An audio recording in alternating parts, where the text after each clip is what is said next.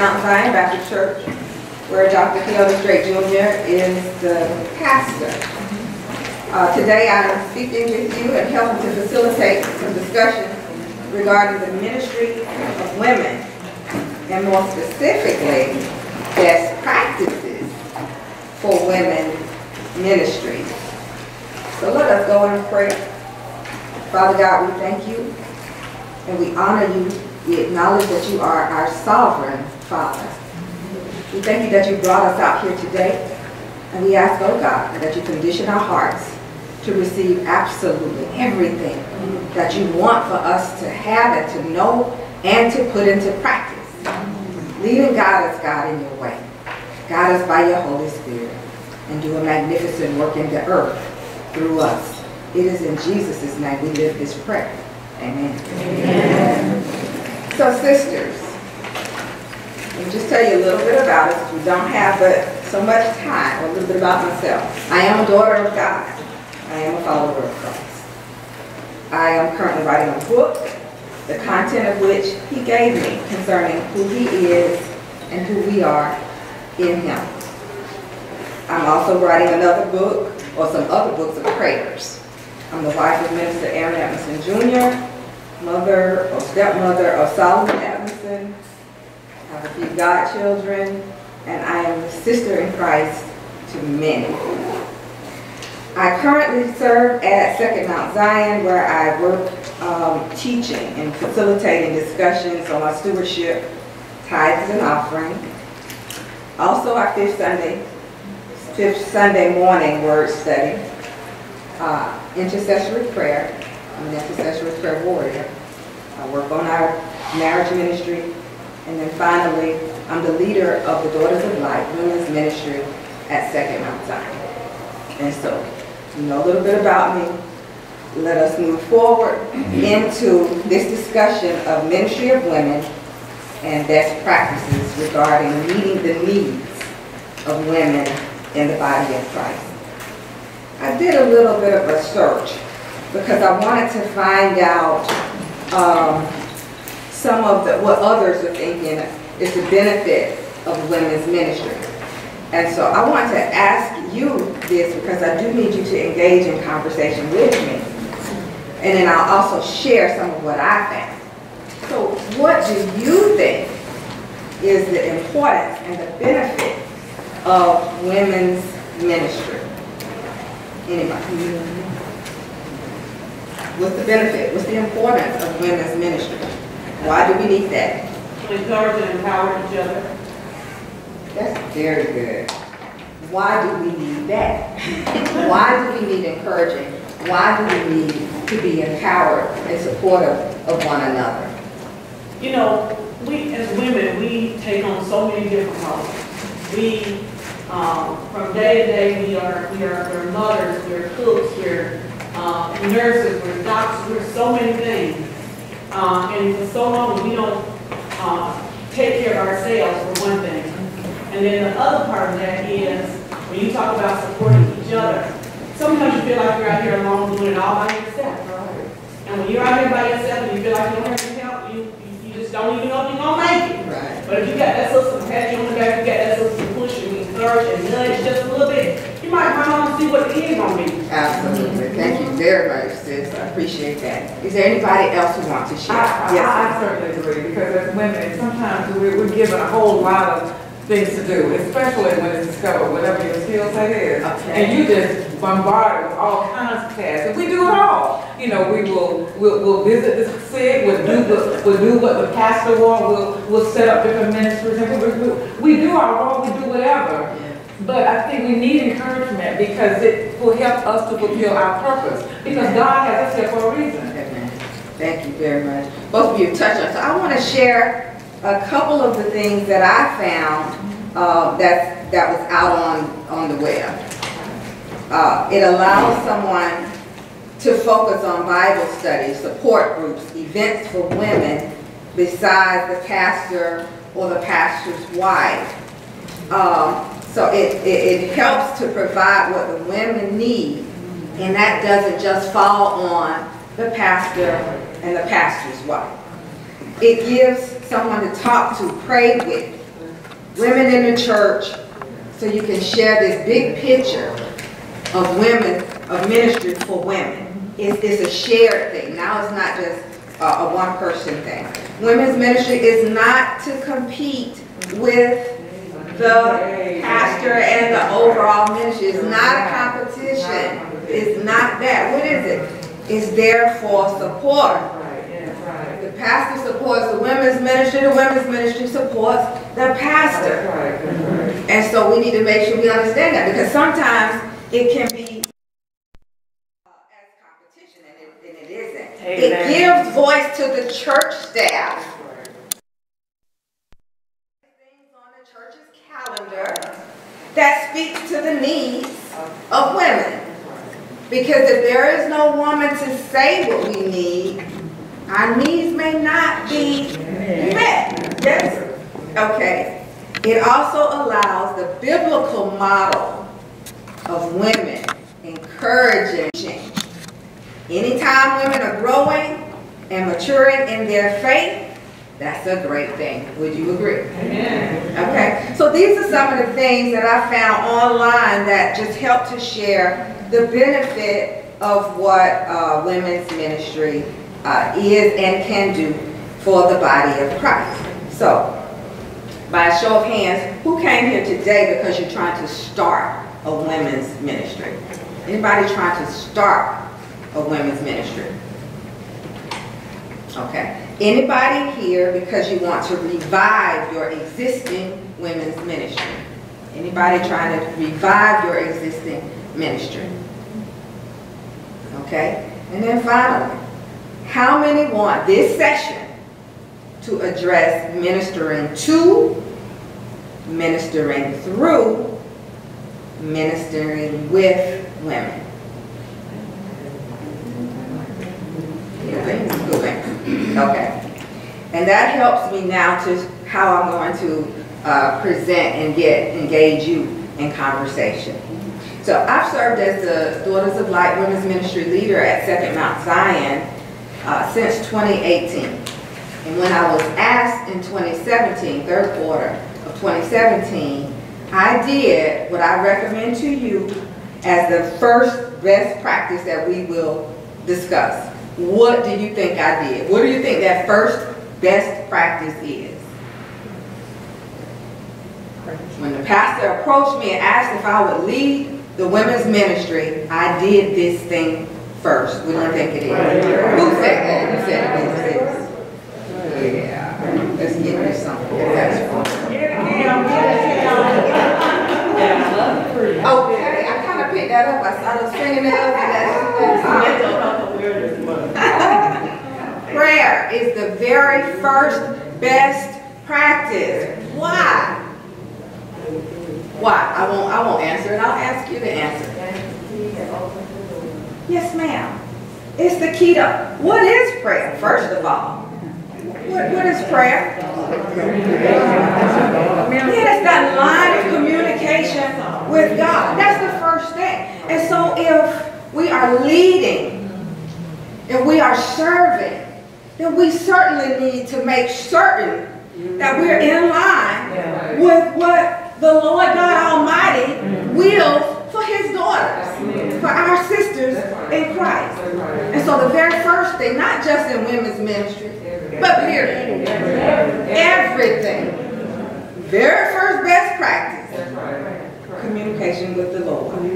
Get your guidance, get your, get your direction from him. And here's the thing, it's not just praying, me talking to him. What happened? What else needs to happen? I need to listen to what he says, how he directs, mm-hmm. how his spirit guides me. Yes? Mm-hmm. But I don't just need to listen to it. What do I need to do? I need to act on it. I need to put feet to what he says. I need to obey and do it the way he directs. The way he directs. So we pray about it, we listen to him, and then we act. We put it into practice. You agree with me? Okay. So now this point may seem a little off, but I assure you it's not. Be sensitive to the nature and construct of women. Be sensitive to the nature and construct of women. Why? Are we men? Do we do things the way men do? Do we think the way they think? Do we act the way they act? If we did, some of the stuff that we see in the communities would not be. Some of the divorce rates, rates and things like that wouldn't be what they are. We are different. And there was something that Pastor uh, T.D. Jakes said that really resonated in my heart.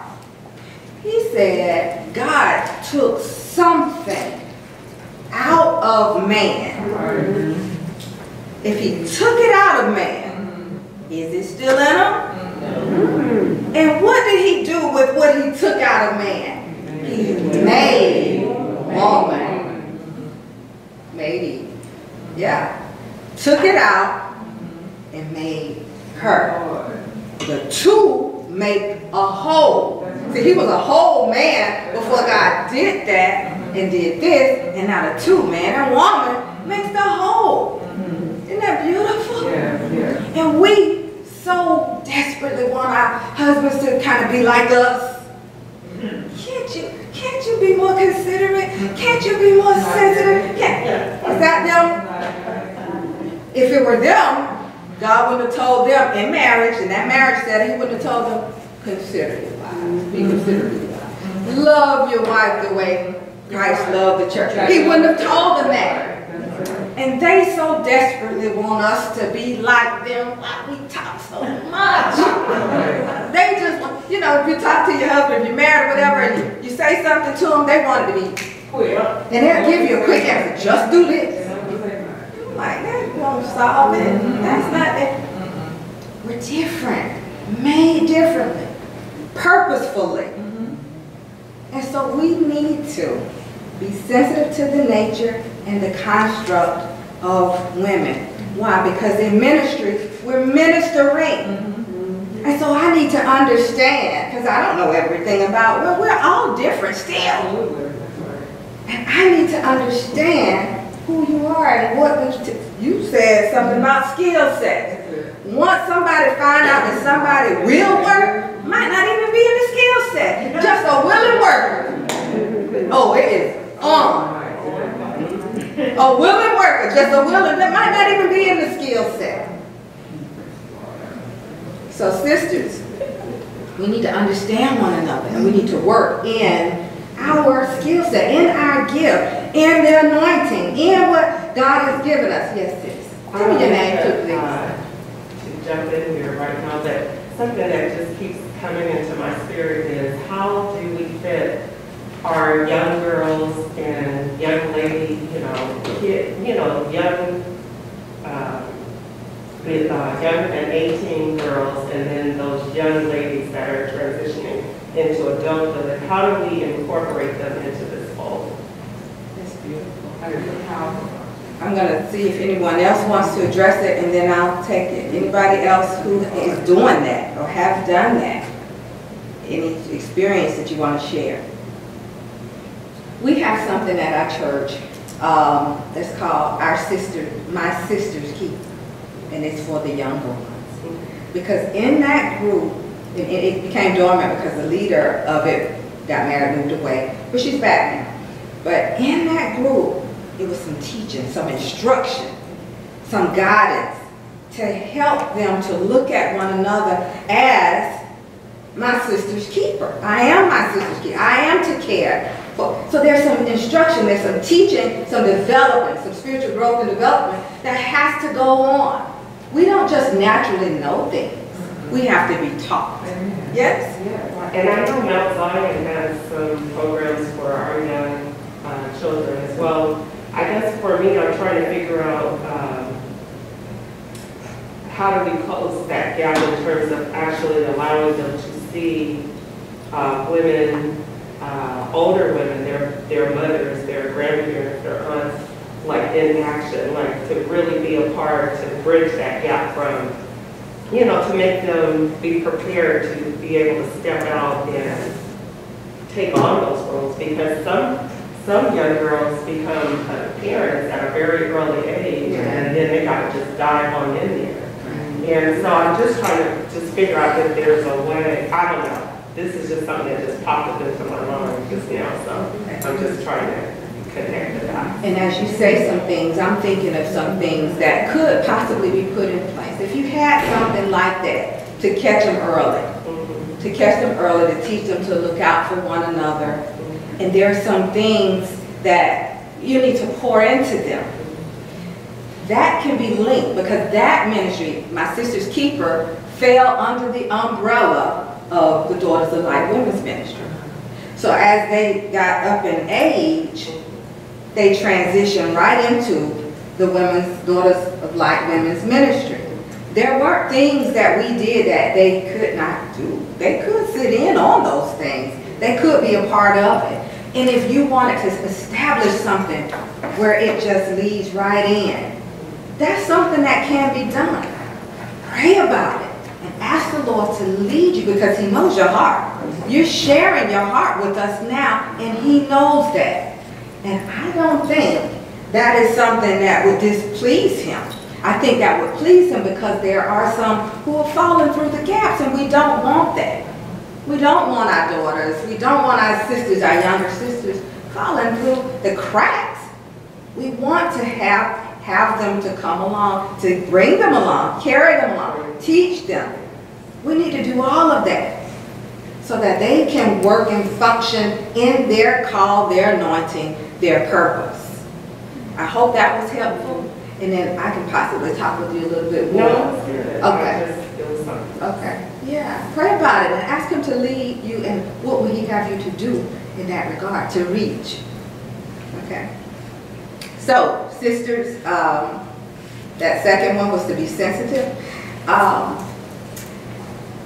what I want to do is just share a little bit about the Daughters of Light. I know you didn't come here for me to teach on that, but that's the experience that I have and I want to share it with you. Because when I told you I went and prayed about it, I didn't come back to the pastor for three months later. And he didn't say, well, it took you so long to get back, I asked somebody else. He didn't do that. But those three months I was praying, Father, I know what you've placed in my heart to do. Is now the time? Is this the move? Is this the shift that you want from me? And so as things just started coming, I started writing down. And so I got the, the vision, what he wanted to do for the women. And then the mission, how will we accomplish what he wants to do for her. And here's the thing, that fell up under the, the, the, the vision of the house. So you can't have a mission and a vision for your, your women that's outside of the umbrella of the house, the vision of the house. And so with that coming that way, that let me know that I was on board, I was on point. And then our ministry has, it's a, it's a three-tiered or three-point focus. Three-point focus. Spiritual growth and development, sisterhood, charity, and mission. If it doesn't fall in those three things, we don't do it. Spiritual growth and development, sisterhood, charity, and mission. And I recommend that. Now, whatever it is that your house is doing, make sure, of course, that falls in. But I don't think any of what I just suggested wouldn't fall in that category. And it's important. So it's important to assess the needs of the women that you're serving. Assess the needs. Why? So the ministry can help meet the needs. Yeah? Be sensitive to it. Assess what, what do we need? If you see that there's a need for a certain type of spiritual growth and development, then start doing it. Our mission, how do we how do we reach our, our vision? How do we reach that objective? How do we reach that goal? We host. We host Dr. Fonda. Um, we do real talk once a month. And so when, I know I'm kind of jumping, but during COVID, our ministry did not stop. Our ministry did not stop. We had real talk discussions every month, teleconference. She hosted one about the company we keep. The things that we saw that there's a need for about the company we keep, I, I don't know why that one, but she, she, she talked to us about that. We had guest facilitators, and then we had facilitators in the house to handle that. And I'm saying all of that to say, assess the needs, and then provide what is necessary to help meet the need. Because we try to encourage the sisters to walk in their purpose and their call. And if there is some spiritual growth and development necessary for it, provide it. Sisterhood. You know we like to talk and get together and do things. So make it amenable for that. Now, we couldn't do a whole lot of that together one-on-one, especially with COVID going on like that. But that conversation, us doing that, that was great. We also charity and mission is one of our three foci. Um, last year, we made uh, care packages and gift baskets um, so that, um. Here you go. Thank you. And we went to Atlanta. We gave out gift baskets to the homeless, male, female. We went to Tifton, gave out gift, gift bag, care packages that had, uh, I forget, PPE in it, snacks in it, socks in it, blankets in it, trays, water. I mean, we, it was so full. People were like, I want one of these. The people who were working at the centers, I want one of these. It wasn't just junk. We weren't giving junk. Give them something that you would want. Lotions and, uh, you know, whatever was, all of that. We gave. We delivered there. We delivered to Valdosta, two places in Valdosta, and of course, we delivered here. Liberty House and Albany Rescue Mission still active, charity and mission. And so what I'm saying to you sisters, do an assessment of the women that you serve. Do an assessment and then meet the needs. Because somebody has a heart for the homeless. Somebody has a heart for the needy. Somebody likes to just do sisterly things. Have fun. Do it. Have, go bowling. We rented the bowling alley on base, the whole bowling, we rented it. And then all of the sisters came. Shoes, because we paid for the, the snack, they had to pay for their own snacks. But the shoes and that. And so what I'm saying to you, assess the needs and then meet the needs. Have yourself a good team, a good committee too. And then, it, it doesn't have to be just one committee. You, you, you see, you may have a fundraising. Make sure your fundraisers are approved, of course, by the house, by the pastor.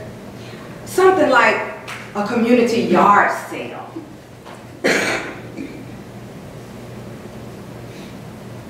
yes. Y'all got stuff you know you need to be getting rid of. You know it. You know you got stuff that you need to be getting rid of. And if you had a community yard sale, you get to get rid of that stuff and the proceeds support the women's ministry and the activities. And so I'm just throwing these things out to you for you to have that in mind and don't be in a box. Come outside of the box. We used to have fifth Sunday dinners and they were free. Hmm. Fifth Sunday dinners and they were free. Our budget for that was like $250. Because we had, I forget the grocery store, it may have been Harvey's. We let them cater the chicken. And we made the rice and the green beans. Oh, the cake. And that was it. Everybody got a free meal. I said fundraiser, right? But guess what? Everybody at church on Fifth Sunday, you all come on back and get a dinner. And they did. And so when we were doing something at the church, and we asked the body to help, guess what? They helped. Why? Because the daughters of light gave away free dinners on fifth Sunday, every fifth Sunday. And so what I'm saying to you, think outside of the box. Do a little something that helps you women. We have, we have t-shirts. I mean, we, I ask every woman at the church if she will give five dollars a month to help support the ministry. That's sixty for the year. We got so many women in the church. If you did that, that helps to support. And when they do, when the sixty is in, guess what? Get a t-shirt. One year. The other year. We got red. We got yellow. We had umbrellas. I'm just saying to you, that was something that brought about the sisterhood too. Because when we had something at the church, we would ask, sisters, will you wear your Daughters of Light T-shirt. good. It looks good. And some would have on this color and that color, unless we said, well, you red, wear your red. But otherwise, and so when somebody saw, all they saw was this beautiful bouquet of women, but unified. Mm-hmm. So that's what I'm saying. Got to build relationship with the women. Everybody will not participate with everything you do. That's why it's important to assess the needs and assess the skill set. That's very important. It's very important to make sure you have the contact information. Dr. Glover said that I need numbers, names, almost everything except the social. It's important. She communicated the importance of that. When a new member comes, I reach out. I know our new members. And I send, I have something already, a little template, I shoot them a text.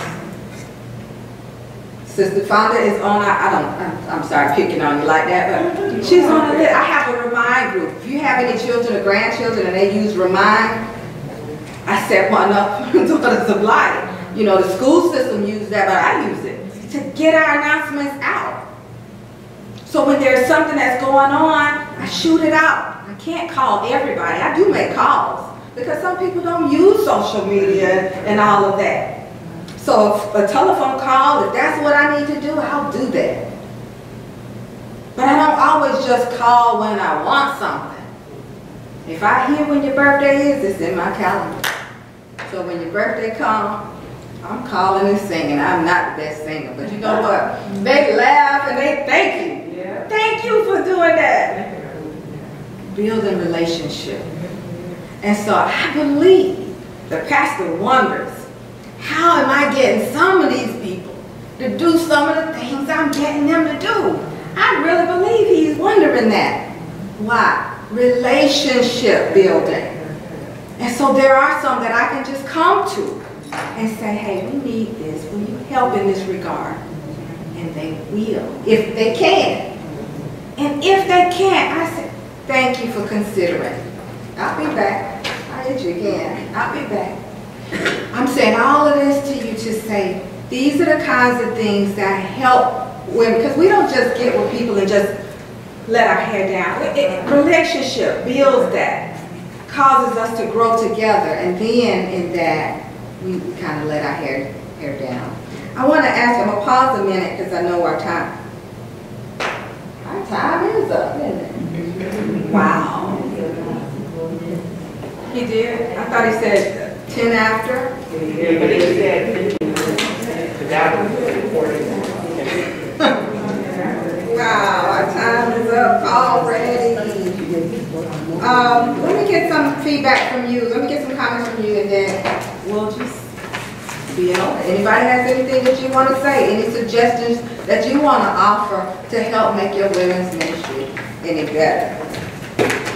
Well, take this uh, time to put a plug in for Mental Health Awareness Month. Okay, And I think um, especially people of color have not paused or taken their mental health, um, made it a priority.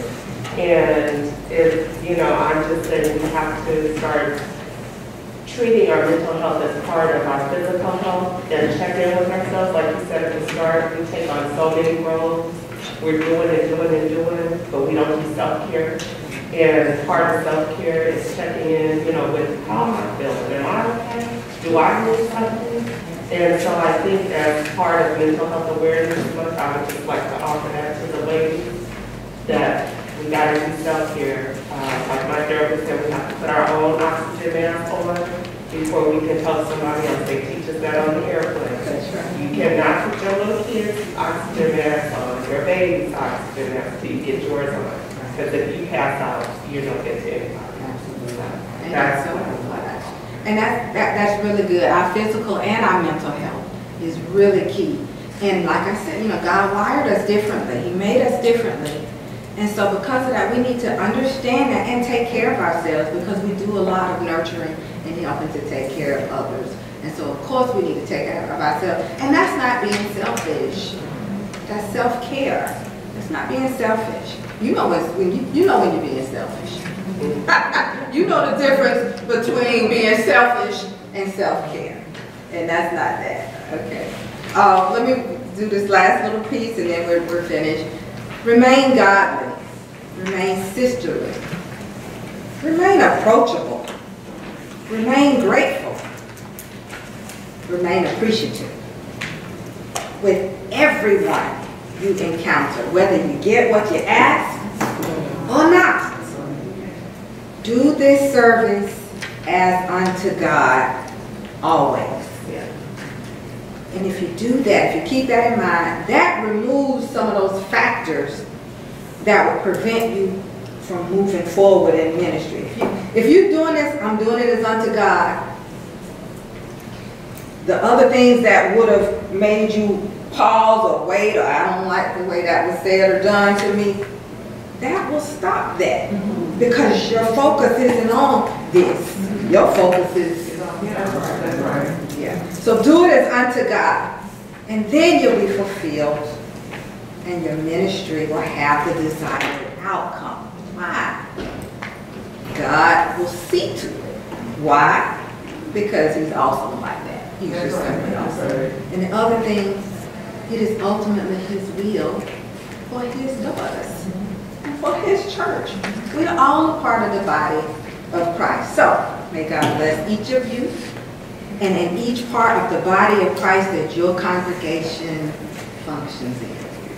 We're all part of the one body, but over here might be the arm, over here might be the leg, back there might be the eyes or the head. Yeah, we all part of one body of Christ. And let's keep that in mind. Let's not compete with one another.